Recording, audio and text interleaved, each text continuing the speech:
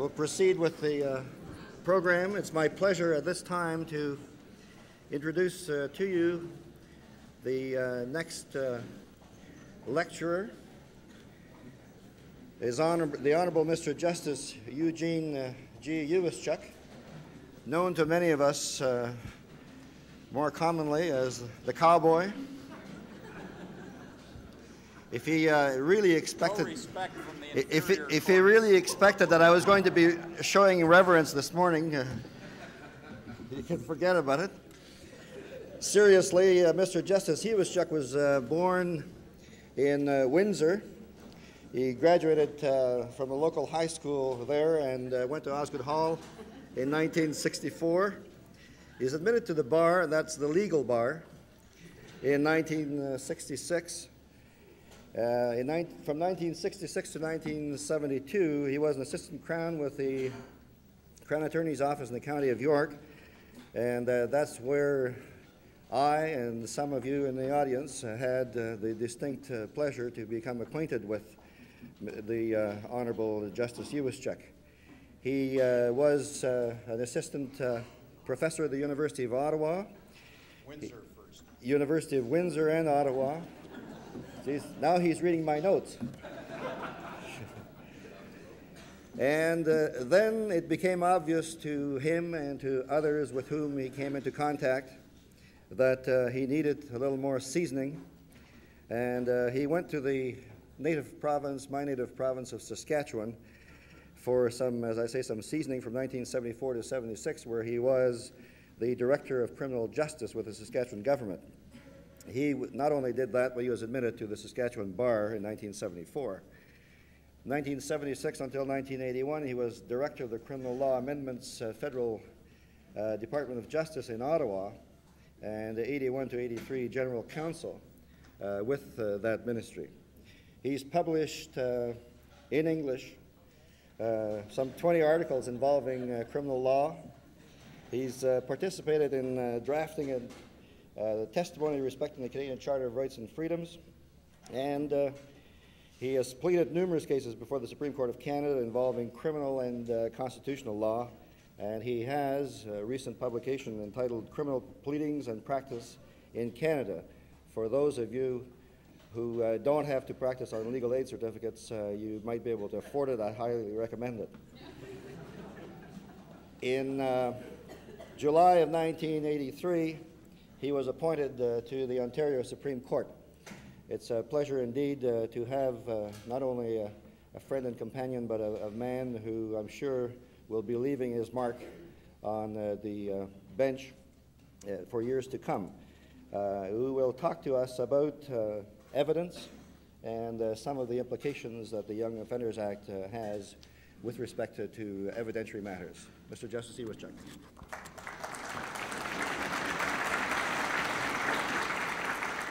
Thank you, uh, thank you, uh, Lucien. Uh, actually, uh, Lou Baloo, as we used to call him, I found out he has another name by the name of Bolio. Uh, that's the Winnipeg pronunciation, but in, in Saskatchewan and other places, when we were in the bar together, uh, we called him uh, Lucien Beaulieu. In any event, take your pick, and uh, yes, you're right, I haven't, I haven't published in Polish, Ukrainian, or French, but that's yet to come.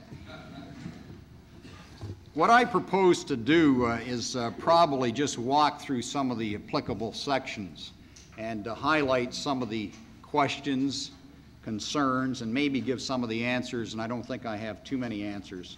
So let's start at section 56 as the basic proposition.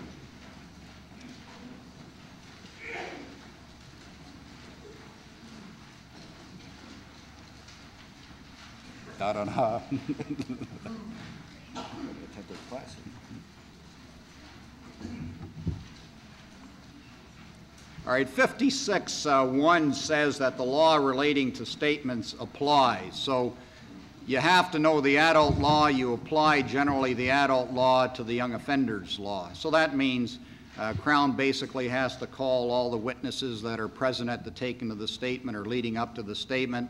I'm not sure I necessarily agree with the particular case that's quoted uh, somewhere here, I think on, and it doesn't matter, don't turn to it, but on page 95 there's a judgment called Midkiff where the mother was present at the taking of the statement and she was not called. I thought that Thiffault and the adult law basically says you call the people who are persons in authority, all those persons who had anything to do with the uh, particular accused which led up to the statement. That's Thiffault. So remember, Thiffault, I, I query whether Midkiff is uh, uh, right, and I'm not sure that I necessarily would follow it if it comes in front of me, although it's from a brother judge or a sister judge. So also keep in mind uh, Erven, cases like that. That was one of my great losses in the Supreme Court of Canada. Can't, still can't believe it. In any event, any statement, unless consented to, must be voir dired. Crown must show it's voluntary, even if the statement is made before an officer has reasonable and probable grounds to believe that this person is uh, an, uh, has committed an offense or before an arrest or detention. So keep that those uh, procedural cases, if I can call it that, in mind. And of course, the other concern to keep in mind is the charter. Um, even before you get into 56 sub 2, you have to comply with the basic law. The basic law says that on arrest or detention, triggering factors, uh, the officer, um, somebody, a person in authority, but I'm saying a governmental person in authority as opposed to a school teacher or a parent because Section 32 of the Charter says it applies to government officials. Uh, must in fact instruct the person arrested or detained that he has the, he or she has the right uh, to retain and instruct counsel without delay. So you have to have compliance with the 10B charter duty. That's superimposed because that's, that's law that applies to all offenders, be they young or adult offenders. And I guess uh, Lucien is trying to rename the criminal code, some wit said, uh, and call it the Adult Offenders Act. In any event, we're now into 56.2. 56.2 has certain preconditions leading to admissibility. The basic precondition is in 56.2a that the statement is voluntary. So you're into the question of Boudreau, uh, Fitton. Uh, I argued a case by the name of Rothman, uh, which followed another case by the name of Horvath. For defense counsel, Horvath seems to say, although it's a, not a unanimous decision by any means, uh, that in addition to not having any hope of favor or, or uh, a type of inducement, the general test, or that in fact, if there are circumstances of oppression, then that leads to a, a situation where the statement is involuntary. So keep in mind the Horvath case as one step beyond the old Boudreau Fitton test. Now, in Rothman, when I argue that one, uh, Justice Martland, who has since left that court, said that's nonsense. That's not the law in Canada. So I think it's still unclear whether or not oppressiveness is a circumstance which will vitiate a, a, confession and lead to a finding of involuntariness. So it's still an open question, but know those old uh, classic uh, cases. The obvious test is that the person has to know, that's the Rothman case, that the person is a person in authority who's taken the statement. Rothman was a situation where uh, a policeman was planted in the cells. He uh, posed as a prisoner, and uh, the Rothman volunteered a confession to him. The Supreme Court of Canada said uh, the voluntariness uh, rule doesn't apply because it wasn't held out to, to somebody who was apparently a peace officer. So the test is subjective, not objective. Now, so you have to go through the procedural uh, safeguards on the voir dire. You have to call all the persons in authority leading to the statement. You have to prove it's voluntary within the adult test. And then, before the statement was made, there are certain factors that have to be addressed to the young offender. Now, even before I get into that, the question might be when does this happen? What is the so called triggering mechanism to give these cautions? You normally have now the charter caution, if I can uh, word it that way, the 10B caution. You have the ordinary police caution for adults. Now you have the young offender caution or cautions. I would think a very resourceful police department or some Crown attorney, such as Barbara Ferns, will advise them, in fact, how to incorporate all these into one caution. It may be quite lengthy, but it may, in fact, be done in that fashion. Only time will tell. I would think that if you come to a scene where a crime has happened and you have no indication, in fact, of who did the crime and simply pose the question, did anybody do this? And somebody blurts out, obviously, I did it. Well, then you're probably into the sub three, that a statement is made spontaneously, it's so called volunteered, and it's before you have you have had a reasonable opportunity to comply with these requirements. And I think what you're really compliance with the sub 2 requirements are in fact probably triggered, and this will have to be a judicial gloss on the section, as to when the officer has reasonable and probable grounds to believe that the accused has committed this particular offense. Once you get to that, clearly I think you would have if, the, if it's opportune to do it, you'd have to, in fact, give those so-called warnings. Obviously, you don't arrest or detain. Uh, and if detain means Chromiak, you're on a virtual, you're, it's a virtual arrest before you have, in fact, those grounds. But if there's an arrest or there's a detention, whatever that word will mean, the Supreme Court of Canada will soon tell us what that means, then obviously you're into, I think, sub 2 warnings. What are the nature of subsection 2 warnings? Well, uh, you probably, in fact, what uh, Judge Archambault, another Saskatchewan type, he's not from Gravelbourg this time, he's from Prince Albert, uh, he and Daniel Prefontaine, who drafted all this legislation, had in mind the incorporation of Jacques and Jensen so I think, in fact, what you have here is a displacement of that case law. There will be case law obviously interpreting sub 2, but I think you start there as opposed to starting with the old case law prior to the Juvenile Delinquents Act. But much of it, in any event, is incorporated there. So you have to tell the offender in language appropriate to his age and understanding. Now, that means that the Anderson case decided by Justice Tarnopolsky with relation to the charter probably doesn't apply. A mere repetition of the words are not good enough. Here, I think there's a duty to ascertain that the young person, being somebody between, uh, from 12 eventually up to 18, in fact, understands what's going on. You don't have to do that in the adult system, according to this recent Anderson case, unless there are circumstances indicating that he doesn't understand.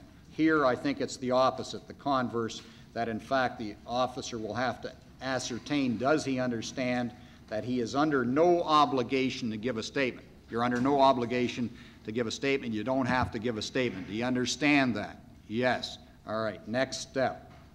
May not be quite as curt as that, but the officer will have more time to deal with them than I will with you. Sub 2. Any statement given by him may be used as evidence in proceedings against him may be somewhat misconceived. The common law police uh, caution, judges' rules in England don't have those words against him. In fact, if you say that, it may vitiate the statement. Uh, here, they put it in here as a warning don't say anything. Well, in fact, if the young offender does say something, oftentimes the policeman may accept that and let him go. So it may be a little bit of a trap but in any event, you have to comply with the statute. So those words will have to be told to the young offender. Then we get into sub three, the third precondition, that you have a right to consult with another person and you leap into C to find out who those other people are. You may ask yourself initially, is there a primary right to, cons to consult with a lawyer now that the Charter says that supposedly is a constitutional right? This seems to give you a choice. I think, in fact, that the, it's got to be clear that uh, they don't want to speak with a lawyer before they go to the other choice. There may be some case law that comes here, but it's the young offender's choice. Consult with counsel. Now, what is counsel? Counsel here may be wider than counsel under the Charter. There were some immigration cases saying that counsel can be an advisor who is not a lawyer, but uh, in the uh, charter, they use the word avocat, so it's quite clear it's a lawyer in the charter. Here, it may be a little bit wider. Or a parent. Parent is very wide. Uh, doesn't even have to be a a natural parent, can be a step-parent, can be a a common law situation exercising some de de facto control. You look back to the definition of parent in se- in Section 2 or in the absence of a parent, an adult relative, or in the absence of these people, any other appropriate adult. The papers, uh, John Pearson's papers say, what about uh, the girl's pimp? Is that an appropriate adult? Well, I don't know. I'm not going to get in to answer that uh, particular uh, problem. Um, you get into questions of uh, the right of privacy and consultation, uh, matters of that sort. Um, who is an appropriate adult will be decided, I think, on a case-by-case basis. So they have to be told, consult with the, you take your pick. What if they want both? What if they want all three? But sometimes they may say, well, I want to talk to a lawyer, but I want to talk to my parents as well. Is that really a conjunctive as opposed to a disjunctive? Uh, only case cases will tell us later, probably, as I say, on a case-by-case basis. The further right then is that they, they have to be told that they have the right to make the statement in the presence of that person. Some case law would say that person should be a person uh, of the same sex, a little chauvinistic one way or the other. Uh, here, that doesn't say that. We'll see how that's interpreted. And obviously, uh, some people will, in fact, be less uh, willing to, to make certain admissions in the presence of the parents. This says they have that right. They have to be told they have the right to have that person present. They can, in fact, waive that right in writing by subsection 4. Very American.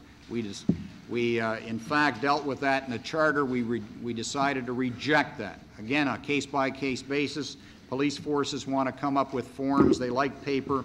Well, that's up to them, but at least the Attorney General's Department and that rejected that approach. It wasn't put into the charter. So it has to be in writing.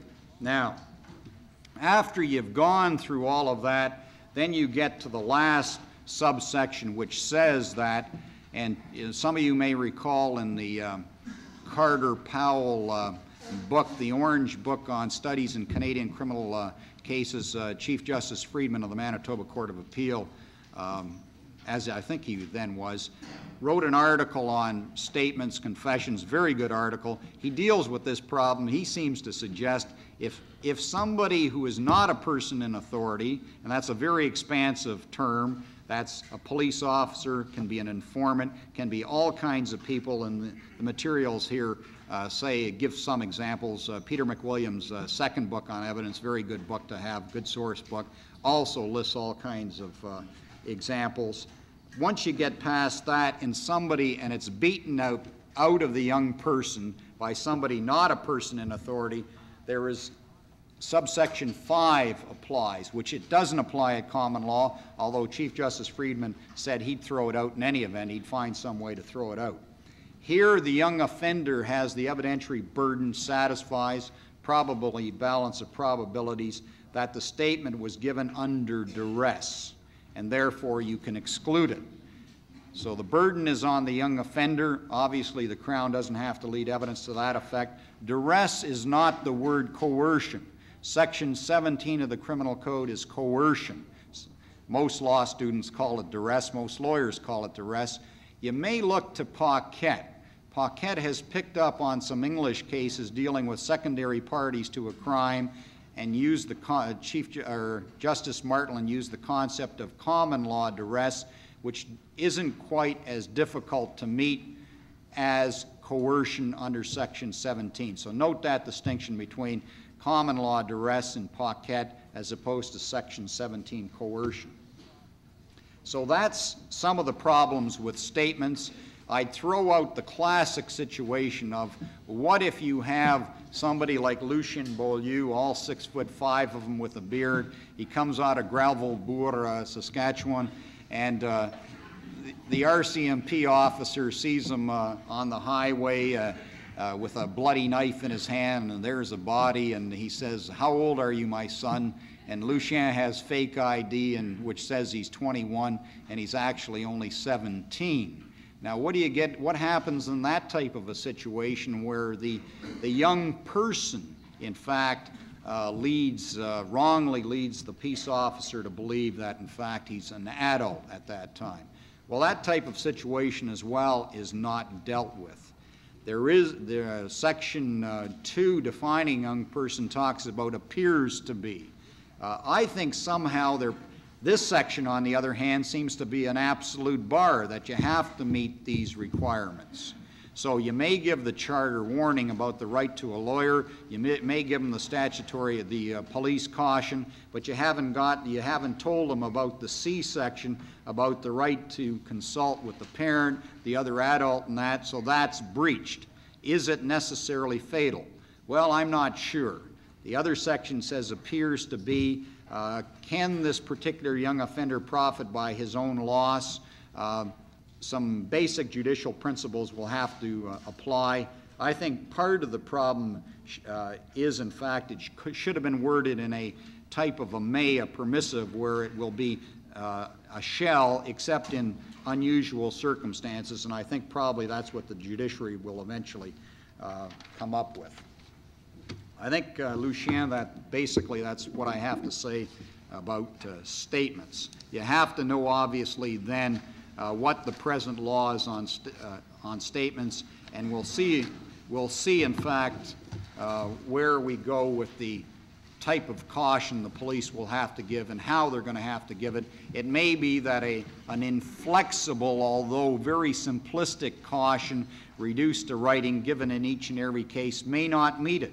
You may have a 12-year-old offender as opposed to a 17-year-old, a, a, very simple-minded young boy who or girl has never been in trouble before, as opposed to a 17-year-old psychopath who, in fact, has committed many crimes in the past and may know some more law than the lawyer. But that, that will have to be dealt with, as I say, on a case-by-case -case basis. All right, if we can then uh, turn to the testimony of parent, section 57.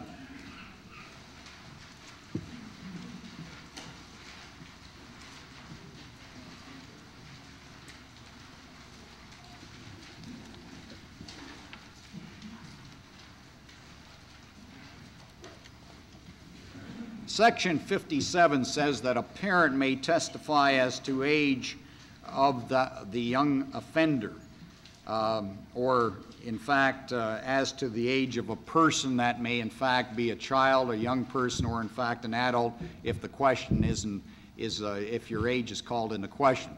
Uh, there's old common law when Lucien Beaulieu was a young Crown attorney. We were much more technical in those days. Somebody would say, How old are you, Lucien? And he'd say, Oh, uh, I've always been 39, and he'll remain that way till the end of his life. But the point is, uh, how does he know he's 39? You have no memory of when you were born. Obviously, his mother told him that. If she was eh, on a good day, she told him that, uh, or, or his father. now, so that is hearsay evidence. Case law, La Chapelle and other cases say you can make that admission, but you can't call the Crown witness, usually in the sexual cases, and the girl, in fact, say that I'm 13, where you have sexual intercourse with a female under 13. Can't give that evidence, you have to prove age in an admissible fashion. Well, obviously, the mother can say that. She was there for the birth. She may not remember too much about it. Uh, the father, although uh, now they're present, uh, years ago they weren't, uh, I think he could give the age because obviously he can say, well, the mother was pregnant one day, the next day, uh, a week later she came back with a little baby, and this is the baby. Now, some judges wouldn't even admit that. They'd want the mother to come to testify. That's how rigid we used to be. In any event, this section is designed to deal with step parents, de facto parents, common law situations, even years after the event. These people can, in addition to the natural per, uh, parents, come and give the law. So that doesn't really tell us that much. Go to subsection 2, and you'll get your records that are generally admissible in any event. Uh, the birth certificate, the bab baptismal certificate, one being a provincial document, generally admissible under the Canada Evidence Act, baptismal certificate, perhaps uh, a record kept in the ordinary and usual course of business. Business includes all kinds of undertaking. The real problem that comes in there, how do you correlate the name from that document to the name to the person in court? Uh, well, you can go through similarity of name, uh, circumstance. Uh, a lot of case law saying uh, where the names are similar, you can infer that it's the same person. Now, it may be there are a lot of Beaulieus in uh, Gravelbourg, Saskatchewan, and therefore, uh, because the document says uh, Lucien Beaulieu, and uh, it's a Lucien Beaulieu, the uh, young person before the court or a witness, uh, that wouldn't be good enough. But in, I can assure you in Toronto, that would be good enough. If it's a very common name, however, usually you need one other indicia in addition to similarity of names.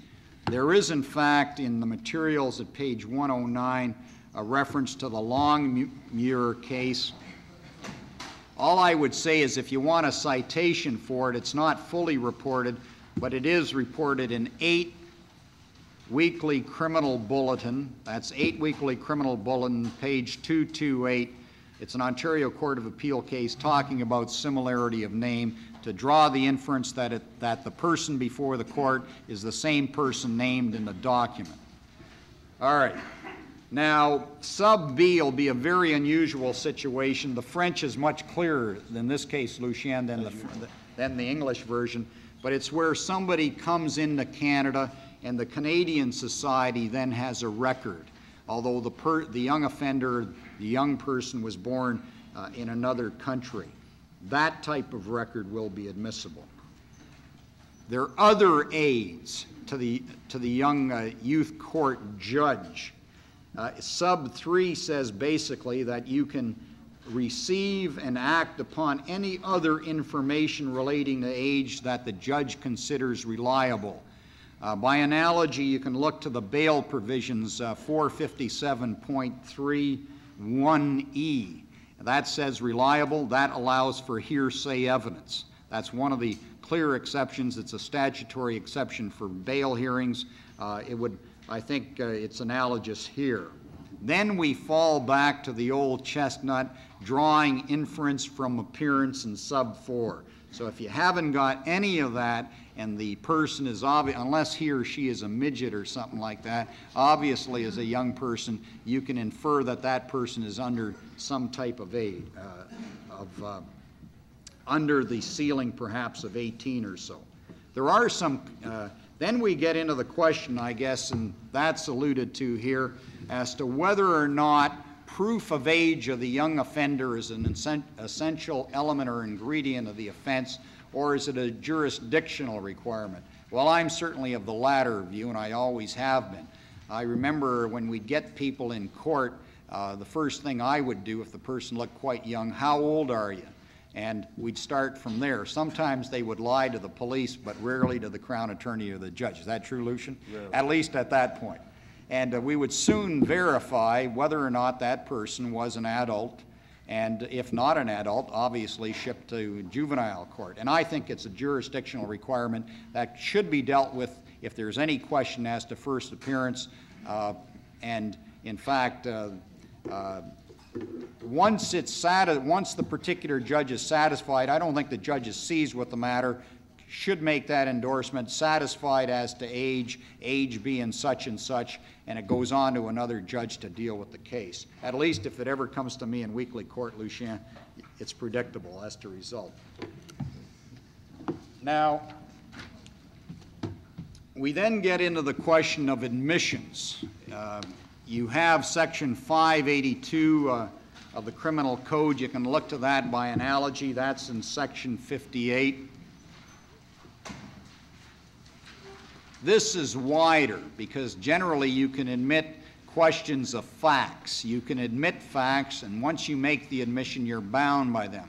Uh, Castellani is reproduced in subsection 2 to say that where you admit facts, the other side is not bound by those facts and can go ahead and, and prove it and give the gloss to the facts or explain the background.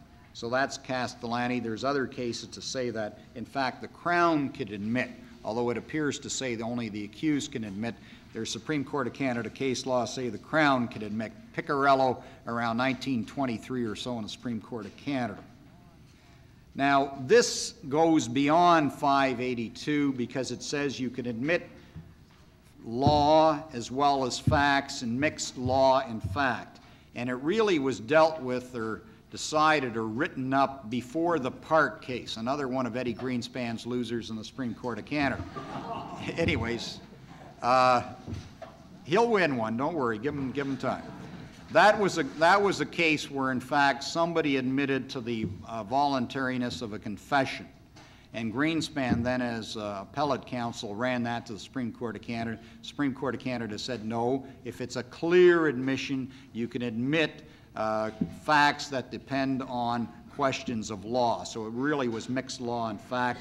So you can, in fact, do that. It's a type of waiver. It's supplemental, obviously, to Section 582. So that's the Park case in the Supreme Court of Canada. 59 is somewhat complementary to that. Section 59 says you can consent to the admissibility of facts, but not necessarily admit to those facts. In other words, let it in, but let the judge draw the inference. It goes to weight. You can argue what weight should be given to it as opposed to an admission of fact, once you admit it, you're bound by that admission. You're not in 59. All you're doing is saying, yes, I'll let the letter go in, but I'll argue what weight should be given to that letter, what inferences should be drawn therefrom. All right, 60 then, we get into some very interesting questions here. And I think this is very muddled and confused.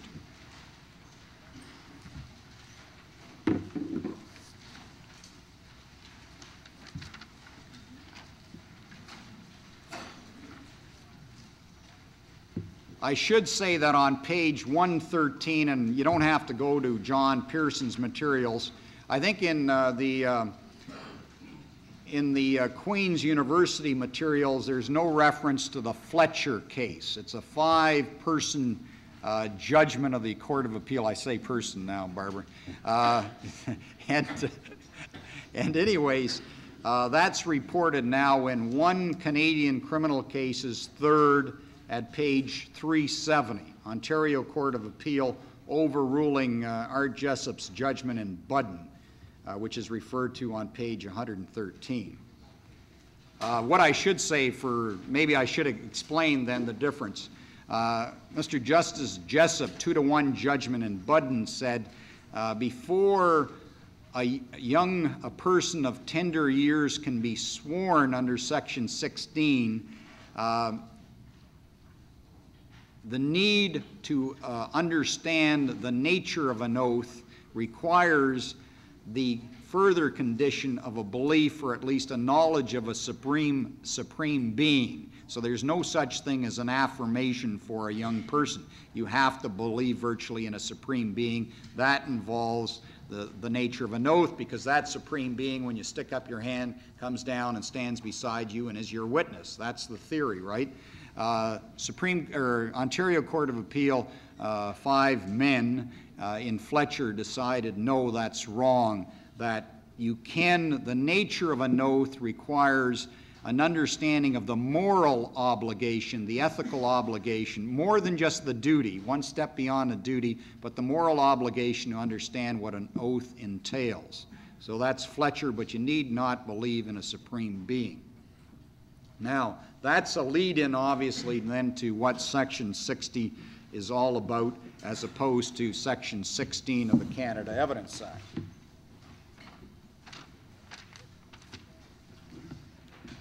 Sixty says that where the evidence of a child, that is, someone under, a person under 12, or a young person, 12 to eventually 18, is taken, it shall be taken only after the, young, the youth court judge, uh, where the witness is a child under 12, instructs. So there's a mandatory duty.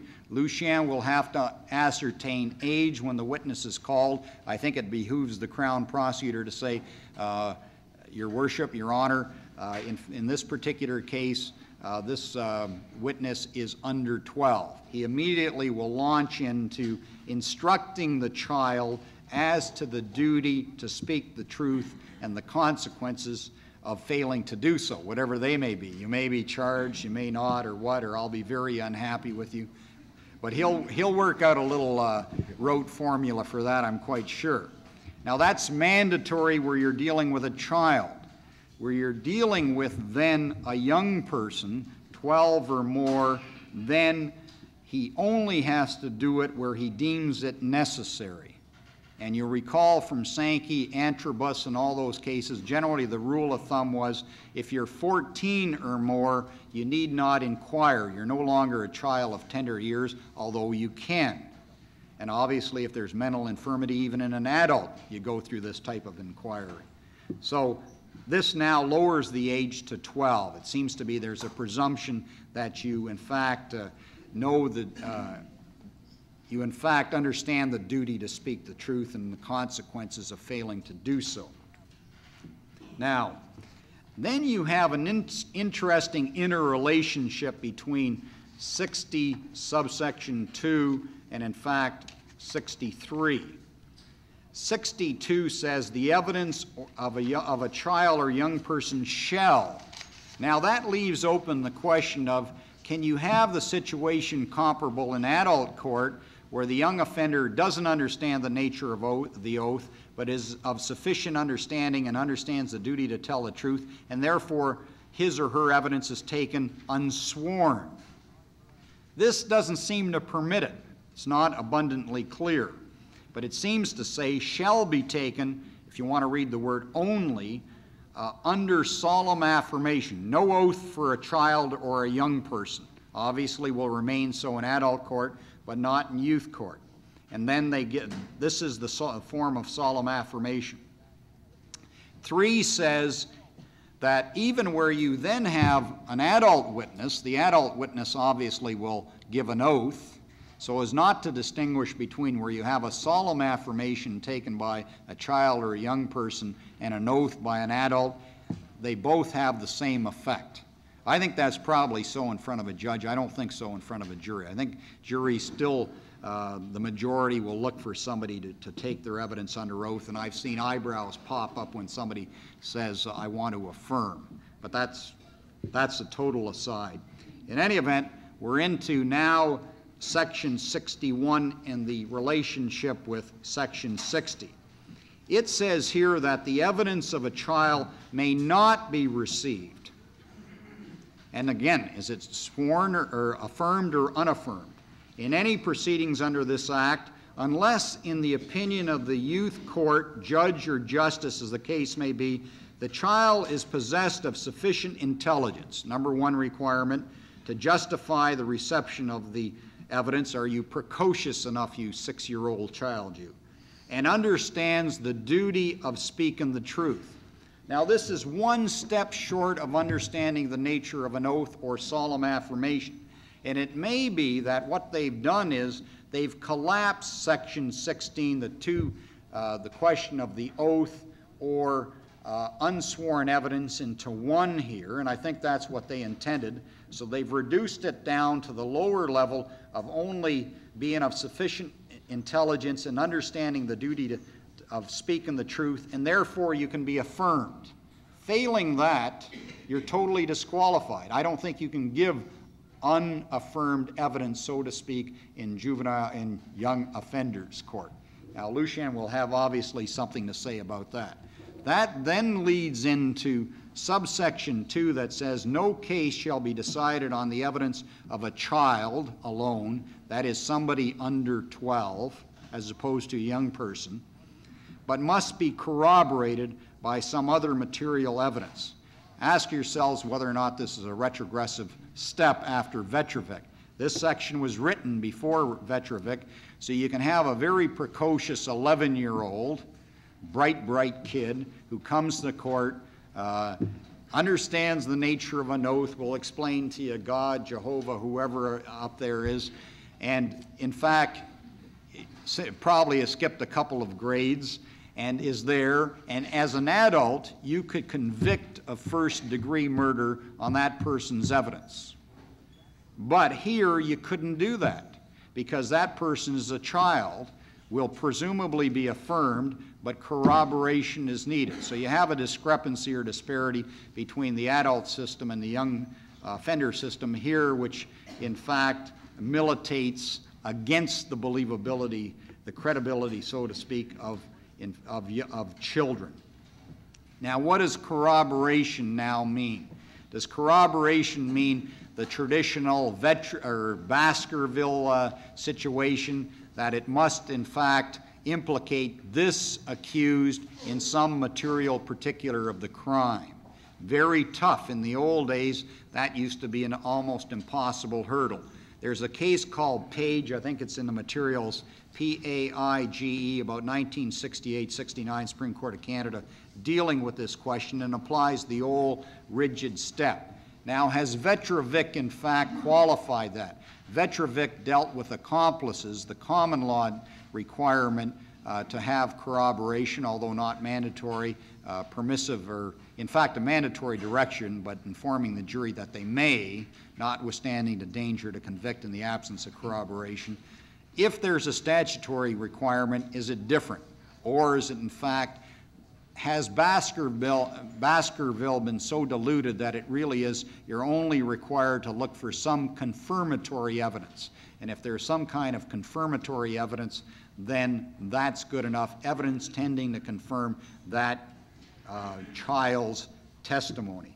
But it's quite clear here that uh, you're not going to be in the situation analogous to 16.2. And it's a little confusing in the materials, but let me assure you that 16.2 of the Canada Evidence Act says no case shall be decided upon such evidence alone.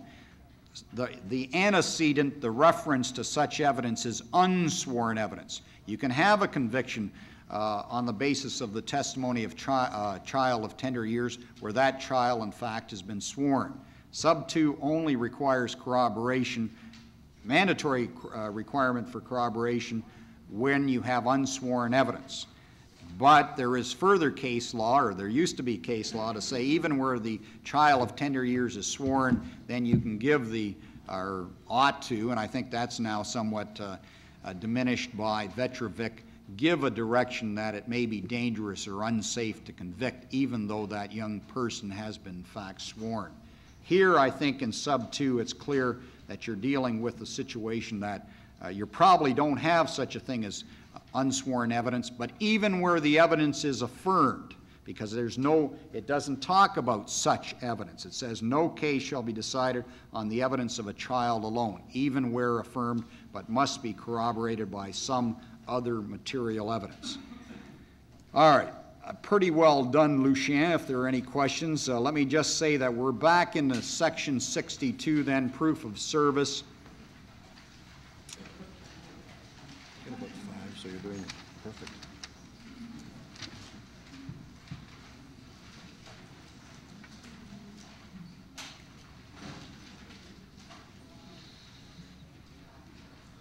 This allows the service of any document, notice to parents, uh, whatever, um, to be proved not viva voce, although that always uh, remains, that's a permissible route, but by oath or affidavit.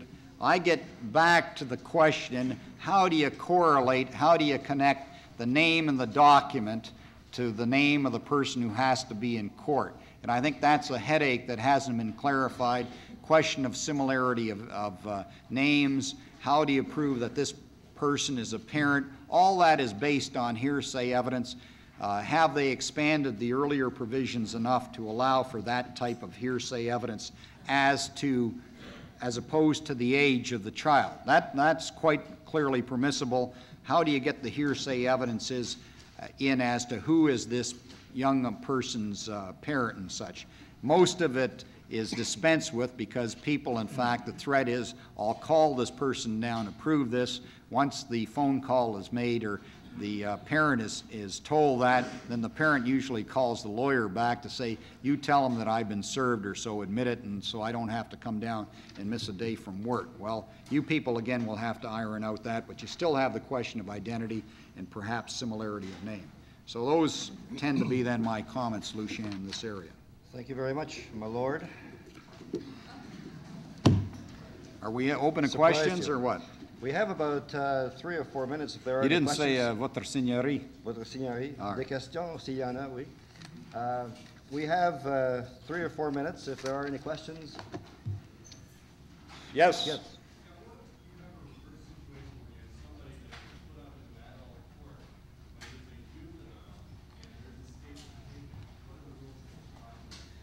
There, uh, I think there's a recent BC uh, Court of Appeal judgment, habeas corpus.